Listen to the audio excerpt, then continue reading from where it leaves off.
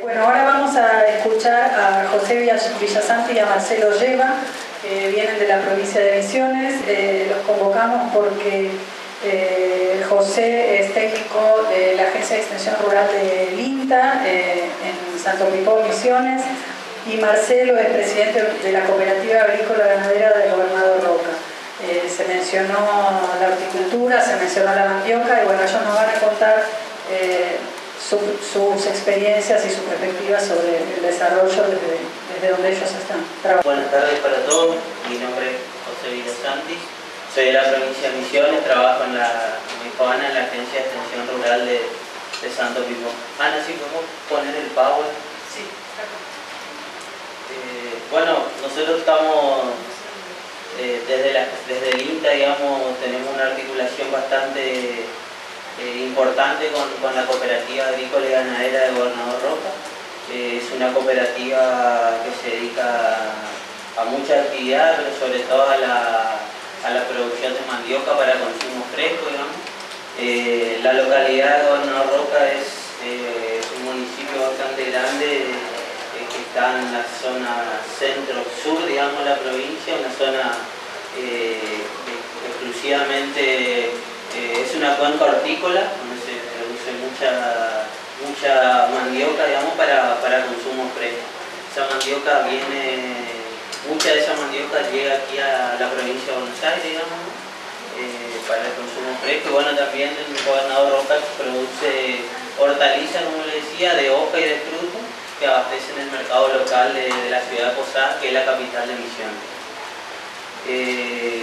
Nosotros estamos trabajando desde, desde INTE con la cooperativa, estamos trabajando en, la producción de, eh, eh, básicamente en el agregado de valor a, la, a, las raíces de mandioca, digamos. La mandioca es, una, hortaliza que, tiene una, tiene una vida post cosecha muy corta, digamos, una vez que es eh, cosechada y sacada, digamos, de abajo del suelo las raíces ya, ya empiezan un, deterioro, digamos, primero fisiológico y, después, eh, pasado un tiempo, también un, deterioro bacteriano, digamos. Entonces nuestra preocupación era un poco cómo, cómo podíamos incorporar tecnología en el manejo por cosecha de, las raíces de mandioca y también darle un, valor agregado a este producto, digamos. El cultivo de mandioca es un es un cultivo tradicional de nuestra provincia y que, muchas veces se ve, se ve golpeado, digamos, por, los, malos precios que tiene y también por, bueno, saben, las condiciones climáticas en nuestra provincia son bastante, muchas veces adversas, muchas precipitaciones y, esto afecta, digamos, cuando hay, hay muchas precipitaciones, los suelos se encharcan, digamos, y como estos este son raíces, digamos, sufren mucho, digamos, se, produce podrición de raíces. Entonces también tenemos varios problemas, digamos, uno de los más graves era, o uno de los que nos pusimos a trabajar era darle un poco de, incorporar tecnología para agregar valor a este producto tradicional de nuestra provincia. Y bueno, nosotros estamos primeramente la cooperativa y el INTA empezamos a trabajar con el parafinado, la mandioca, digamos, ¿no? Eh, ahí se pueden ver, se lavaban las raíces, se cosecha, digamos, una lavadora, ahí se saca toda la, se lava la, se saca la tierra, digamos, eh, después se pasa a una, a una secadora y después eh, se pasaba por un, con un digamos, se pasa por, con un punticida y después se, se parafinaba, digamos, ¿no? con parafina se, le da, se le forraba con una película parafina a las raíces para aumentar la vida por cosecha. Así quedaría el producto terminado. Eso se, embalaba y se venía para, para, la provincia de Buenos Aires. Bueno, después... ¿Con qué se fumina? Lleva sol fungicida. Se le hace una inversión, digamos, una inversión. Eh, bueno, nosotros, e, este proceso, digamos, era bastante interesante. Nosotros avanzamos un poco más y, digamos, empezamos a trabajar con el envasado, la mandioca eh, envasado al vacío de la mandioca. Y, agregamos otros procesos más, eh, en, la, incorporamos otros procesos, digamos, ¿no? Que fue el pelado de la raíz, digamos, ¿no? Eh, empezamos, se saca la, la, la, cáscara, digamos, con una máquina y entonces podemos envasar la, la mandioca envasada, envasamos al vacío, Ahí ustedes pueden ver en las fotos, no sé si se puede diferenciar, ahí está la mandioca los trozos de mandioca, digamos, de las raíces, eh, envasada al vacío y también hay una especie de, eh, esos son bastones precocidos, digamos. También trabajamos con eso para aumentar aún más la, la vida post cosecha de las raíces y también darle eh, mayor valor agregado. ¿Qué, es lo que, qué, es lo que, qué es lo que logramos con esto en la cooperativa? Digamos, ¿no? Eh, al, poder incorporar este tipo de tecnología eh, y que la, aumentar la vida post cosecha de esta hortaliza tan tradicional, digamos, en nuestra provincia nos, permite llegar al mercado mucho más y mantener en el mercado el producto por mucho más tiempo. Y, fundamentalmente agregar valor a, un producto tradicional y y esto trae como consecuencia mayores ingresos a las familias productoras. En, nuestra provincia el 80% de, las familias eh, eh, productoras, digamos, pertenece a la agricultura familiar, son, pequeños productores. Y dentro, dentro de la producción, el productor misionero es un productor que diversifica mucho, son, tienen pequeñas extensiones de tierra, máximo 25 hectáreas, digamos, ¿no? Entonces tiene que hacer muchas producciones en su, unidad productiva para, generar eh, ingresos, digamos, no, puede depender de un solo cultivo porque eh, subsistir así, entonces el productor misionero tiene hierba, tiene mandioca, hace algo de horticultura, hace algo de, cría de, aves, de cerdo, y dentro de, de este cultivo, digamos, bueno, nosotros estamos trabajando muy fuerte eh, en, la incorporación de tecnología. Eh,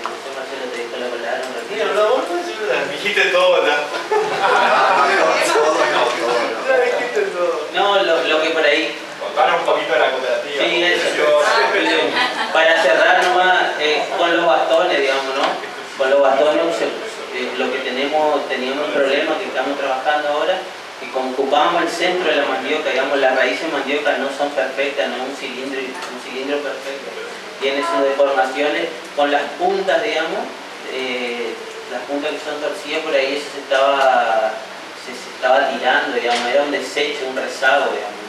Entonces que ahora estamos trabajando, hicimos un proyecto con la Facultad de Ingeniería de, la, de la UBA para aprovechar a través de una prensa y una secadora esos rezagos se, prensa, digamos, se saca todo el, agua que tiene la humedad y después con un horno rotativo se le da calor y se para fabricar harina Entonces incorporar otro, otro subproducto de la mandioca y darle aún mayor valor, más valor agregado a, este.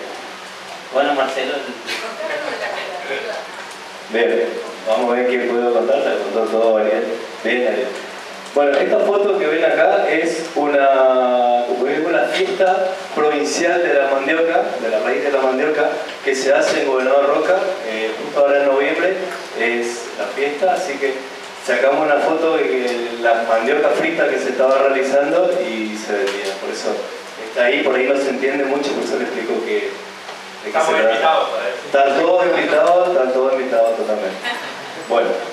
Eh, le cuento algo de la cooperativa. La cooperativa en realidad eh, no es muy vieja, la cooperativa nació en el año 2005 con una idea de unos productores que percibían el precio muy bajo de la yerba mate. Con esa idea se formó la cooperativa. Eh, me llamaron a mí porque era el más chico de todos y me dice, Marcelo, vení, vos vas a ser nuestro secretario. Y bueno, y ahí estamos desde el 2005 y todos fueron dejando, dejando y yo el único que me quedé y bueno, ahí estamos, el presidente hoy. Eh, somos 120 socios de los cuales, como dijo Ariel, la mayoría son de agricultura familiar. En el año 2011 hubo una superproducción de raíces de mandioca en donde todo el mundo quedó con sus raíces en la chacra, nadie podía juntar, nadie podía comprar porque no valía nada, los productores preferían pasar rastra y no levantar esa cosecha. Entonces, eh, por intermedio de la cooperativa, todos los socios venían y decían, ¿qué hago con las raíces? ¿Qué hago con esto? Tengo que plantar de vuelta para el próximo año. Porque todos saben que es un producto anual o 18 meses como máximo. Entonces ahí vinieron con esa idea y fuimos con el Consejo de Administración al gobierno de turno y le planteamos esta situación y bueno, gracias al gobierno turno en ese momento nos dio el puntapié y ahí arrancamos en el 2011 con mandioca, porque en realidad éramos yerba. Y después de eso empezamos con la raíz de mandioca. Gracias a eso, hoy en realidad es nuestro producto madre porque la yerba fue quedando, quedando. Hoy, como todos saben, la yerba está cayendo cada vez más su precio. Entonces, todos los socios están. Menos para los compramos, No, cierto, cierto, cierto. Y bueno, entonces ahí arrancamos con el tema de, mandioca y eh, dentro de la cooperativa nos pusimos como la misión nuestra eh, innovar siempre con el tema de mandioca, o sea, siempre tener un producto innovador, porque como dijo Ariel, este producto muy perecedero que en 7 días se está pudriendo. Entonces ahí se arrancó con el tema del parafinado y el pelado y demás cosas.